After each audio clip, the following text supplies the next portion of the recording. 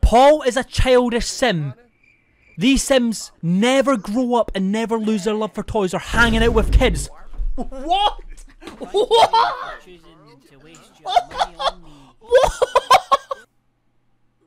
I mean, I could have told you that a long time ago.